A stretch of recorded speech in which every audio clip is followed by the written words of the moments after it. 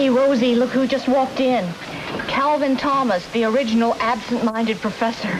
I'm ready for his theories. And his spills. Half a bounty? Bounty's the quicker picker-upper. Half a sheet'll prove it. Good day, ladies. Good spill, Prof. Be my guest. Half a towel? Half a bounty. Half is getting it all fast.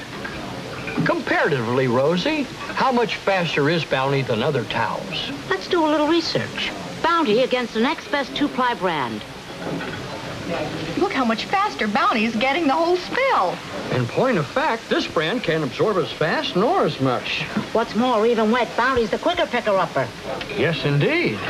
And that same Bounty is still plenty strong. Bounty's truly remarkable. You learn fast, Professor. Bounty's the quicker picker-upper. Half a sheet'll prove it.